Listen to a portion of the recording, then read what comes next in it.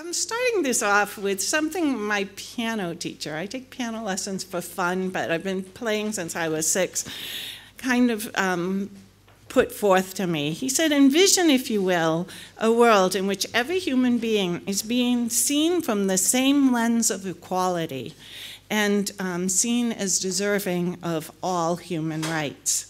My piano teacher, Eric Stumacher, passionately holds this as the heart of his lifelong work. It may have started when he was a Quaker, when he went to Quaker schools, and um, it progressed a little when he went to Juilliard School of Music and worked teaching um, Af African American children in the, in the Harlem area of New York piano lessons. And then it became transparent when he founded Apple Hill Chamber Players and their Playing for Peace initiative, which was a group that got um, warring factions and musicians together to create beautiful music. I'll talk more about that later. This passion is currently um, metamorphosing into his SONAD project, which has a mission to foster freedom and equality in all peoples throughout the worldwide through solos, chamber music, orchestral concerts, and through artistic workshops, which inspire profound connections across human divides. He doesn't really have a unique idea here. I think this is the core of cultural diplomacy. I'll argue that it is indisputably necessary at this point and that it takes on several different forms. I think you'll all agree it's needed now more than ever. And um, I was looking at the, the ICD's um, some of their background, and they do note that with the deteriorations of social norms for the use of violence, this emphasizes the growing need for greater cultural dialogue, understanding, and trust in order to avoid further escalation. So in the 21st century, we have access to um, new approaches to cultural diplomacy. Schneider emphasizes with the ever increasing capabilities of new technology, there's been a breakdown of traditional boundaries, and the practice of two way cultural engagement has become ever more important. It's here that CD is arguably at its best in its ability to remove the barriers when more traditional forms of diplomacy fail at this task. This paper focuses upon the work of the individual, the individual in creating spaces in which um, CD can do its important work, and the role that other individuals, groups, organizations, and governments can play in facilitating these processes. I, I assert that the um, individual's work especially formal and informal educators, which I believe all of you sitting here are, um, either formally or informally. It has to be recognized, supported, and encouraged for these spaces to form. It's through this support that the potential for human rights for all becomes a reality, and it's significantly increased with, with that support. Um, want to define cultural diplomacy because to each of us it may be a little different. I look at it as something Cummings described it as, quote, the exchange of ideas, information, art, and other aspects of culture among nations and their peoples to foster mutual understanding. Inherent in this definition is the need that, to understand that cultural diplomacy is not a one-way street, but is a two-way exchange. We must all reflect upon our position of power or lack thereof and ask ourselves the hard questions when we're engaged in cultural diplomacy, such as, am I holding my values and culture as being better than those with whom I am sharing? We must ask ourselves, am I forcing my culture upon these with whom I'm sharing? Perhaps because of that sense of superiority. Rather, we should be saying, how delightful are our differences? How delightful are our commonalities? And I have so much to learn. How fortunate I am to have these experiences. And I must take what I am learning and use it to help others who haven't been as fortunate as I am to have these experiences and subsequent understandings. The arts can and do play an important, world, uh, an important role in these um, works, transcending boundaries. Uh, my piano teacher, Eric Stumacher, said that he found that words sometimes got in the way, and he used music because of that. He said that when using words, horror filled memories come up, um, and they can bring forth blame sometimes with those with whom we are working. When collaborating with Arabs and Israelis in Palestine, or while he was working with Catholics and Protestants during the Troubles in Northern Ireland, he found the act of getting musicians to come together and collaborate to create something beautiful, expressing joys and sorrows of our humanity in one voice through their music, they developed a strong base from which to embark upon the next steps towards deeper understanding. The same can be said of the other arts, of course. When considering the arts, I, I tend to think of them as expressions of the human condition you can look up and read a bunch of different um, definitions of the arts. I'm going to just mention a couple of them. Brown consider art pieces to be studies as objects within their own right, without regards to the causes for their production, their effects on audience, or even their relation to the rest of the real world. I'm not there. um, Marcuse, the philosopher, considers art to be, quote, committed to the perception of the world which alienates individuals from their functional existence and performance in their society, communicating truths uncommunicable in any other language. I love that last part. Well, there are clearly some arguable components in all of these definitions. I use eager as the most apropos description of art when he talks about it as it aligns with CD. He states that in creating art, consciously or unconsciously, artists are attempting to communicate at a powerful emotional level to those within their own culture. The best work transcends its cultural matrix and speaks directly to our common humanity.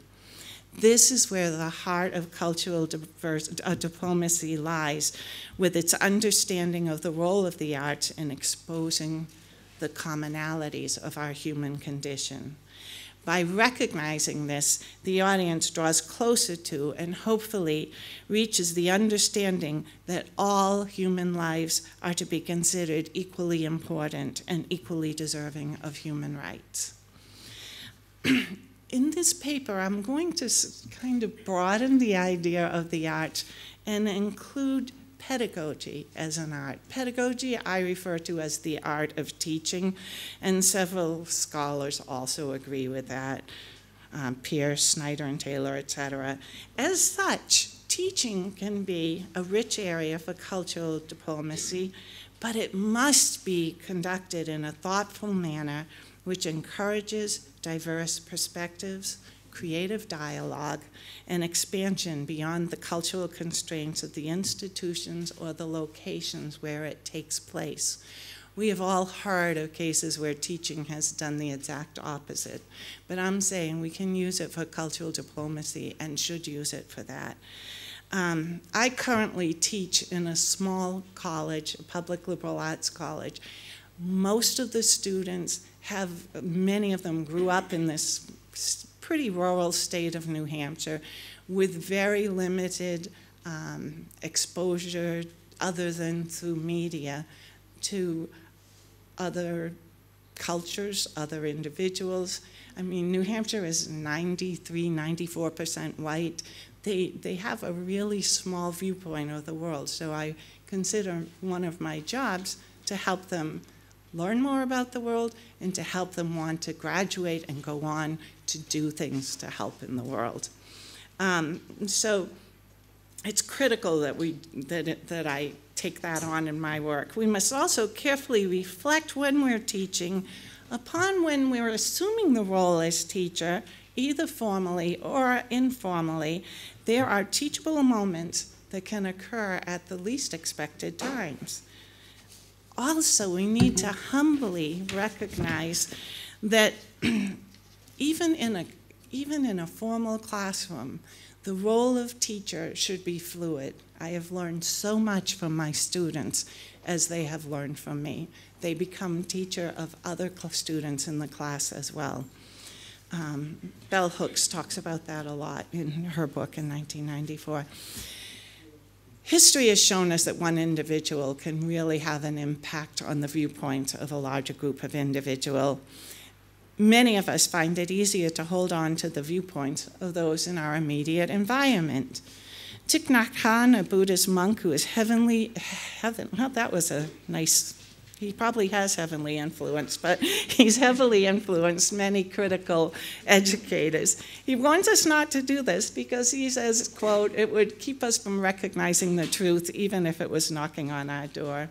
Instead, we should choose to become individuals that change our understanding, who bring about deeper understanding through collaboration with other cultures and through the arts and through our journey towards deeper intercultural understanding in our work and helping others join in this trek. This work doesn't have to be carried out by individuals who have unlimited access to funding, but they do need support and they do need a strong work ethic. These are individuals, these are teachers who creatively answer, how can this be done, instead of being discouraged about fulfilling a desire to gain access for intercultural exchange. These individuals have, been, have to be taught to ask what if instead of, oh, this isn't possible. These are individuals who are fortunate enough to have others support them, not only monetarily, but also in their day to day work of their lives. Supporters who expose teachers to possibilities they may not have ever um, considered. Support for these individuals come from many sources. Um, I can talk a little bit about the United States. Um, I know that in the United States, 45% of the support to artists come from governmental support and from private donations. So in the non-for-profit, that's in the non-for-profit arts sector. So if you think about that, 55% of the funding that they need to continue their work has to be earned by themselves via performances, ticket sales, and interest that can be earned from some of their, their endowments. Herein lies the need to be creative in funding to find ways in which um, they can foster cultural diversity even when they don't have a lot of funding available. Some folks look at areas outside of the traditional artist grants. Um, there's a Fulbright grant. I think some of you may have heard of it for educators.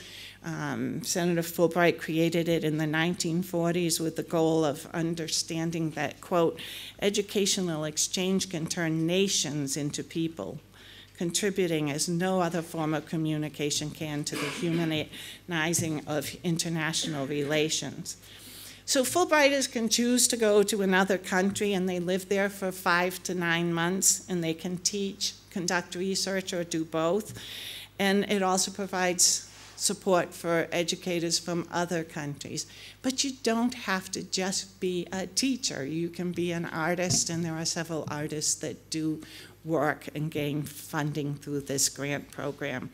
However, like many other grants, it's very competitive and they require terminal degrees in the field, which is unfortunate because some artists don't have that terminal degree, but they're incredible artists.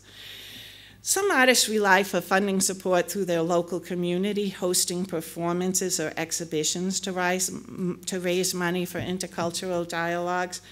But if they're trying to do intercultural travel, the monies needed grows significantly, and it often comes from their own pocket, um, which is hard during these times, these economic times. Although not apt to be as effective, alternative means of funding providing intercultural dialogue may need to be developed utilizing technology and the internet. I don't know if you've used crowdfunding, it's not as effective, but that's becoming a way even public school teachers are getting extra iPads so the kids can start to see more of the world through um, writing pleas on Facebook and collecting money that way. Um, all of these approaches tend to favor those people who have the cultural capital to know where to look for funding and have the financial standing to be able to engage in years of lessons and education to lead them to their upper skills within the art and the support of their family, friends, and community members who also um, appreciate the art. It's not always the case in the United States. They've really significantly decreased funding to the arts in schools, um, which is again making it less available to people who may not have the personal funding to work with it. Um, I can't complain too much though, because compared to other countries, we may have greater funding, as uh, even with the diminished funding. So when we return to teaching, so I was going back to teaching as the art form that can encourage cultural diplomacy, we have to make sure we embody it. Such teaching carefully deconstructs the power relations of the formal curriculum. So our governments and our state governments tell us what we're going to teach, and there's power implied in that, and there's cultural artifacts in that that are ignoring some, some of the cultures of those whom we are teaching. It places, we want to make sure that we're exposing areas of privilege, and we want to place first and foremost the importance of sharing and respecting voices of different perspectives and finding areas of commonality.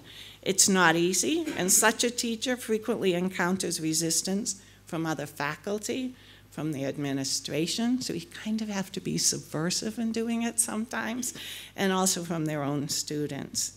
Um, one of the things that I've found that I've done with my class, this helps with the students that are a little resistant, is if I'm getting them to read articles or that are really pushing at their own values and making them try to rethink their own values. If I ask them to write something about it, I'll get a bunch of complaining and things like that. Instead, sometimes I have them use collage.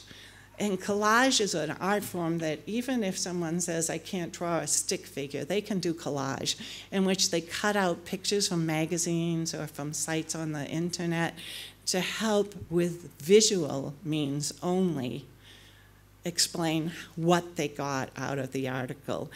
Um, through this, through well-crafted instruction, these collages can be the foundation of intercultural awareness, honing in on the common human experience from the suffering to the joy. Through these beginning journeys, a skilled teacher can implant in his or her students the roots of cultural diplomacy, that is, the important and critical need to seek out mutual understanding with those who seem so very different from us. This work isn't confined to classroom walls. Those of us actively embedded in cultural diplomacy can certainly share our delight with our work and with colleagues, family, and communities. If access to the media is available, parents may start at an early age to expose their children to movies, music, dance, other forms of art from other cultures. They may serve food for supper from cultures that are different from theirs and compare and contrast cultural artifacts. Access to these forms of cultural exploration must be available and may require some proactive work within the communities to assure that they are.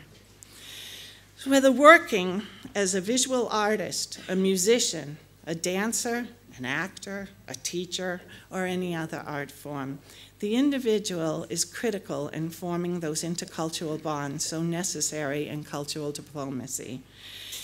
it kind of goes to that idea of dropping a pebble and you don't know who you're reaching. I know when I'm teaching pre-service teachers, my students are going to be teaching generations of students beyond me while I'm dead and gone.